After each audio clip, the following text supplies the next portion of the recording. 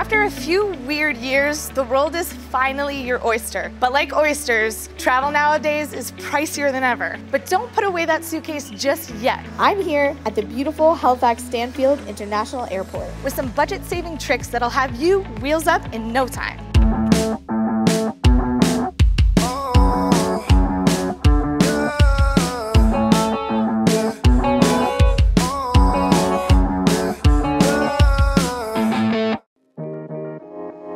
Budget airlines are an amazing option.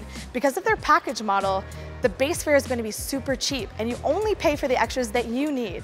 So if you pack light, that $79 flight to Montreal can be yours.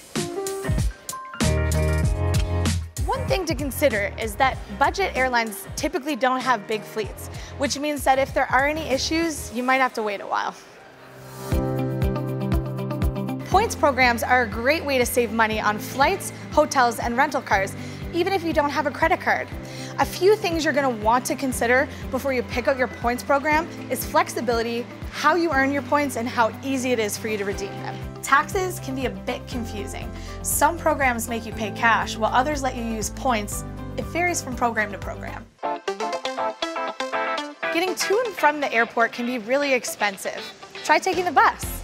In Halifax, it only costs $4.25 to get to the airport.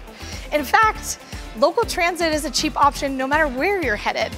But if you do want to rent a car, try Turo.com. It's like the Airbnb of car rental. I always bring snacks and a reusable water bottle. If I save money on that stuff, then I can go to a cool restaurant later. I actually like to get my favorite beverages before I even leave to enjoy in my hotel. It's way cheaper than the minibar, and Liquid Assets inside security has everything. I try to challenge myself to eat out only once per day, so it helps if I stay at a hotel with breakfast included, or somewhere with a kitchen like an Airbnb, and I always have my eye on the lookout for some happy hour specials.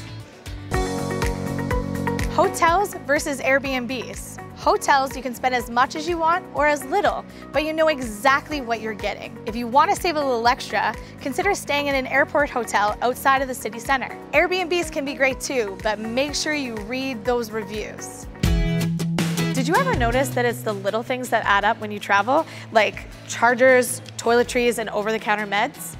Like the one time that I had to pay $45 for Tylenol and flu medication at the Philadelphia airport.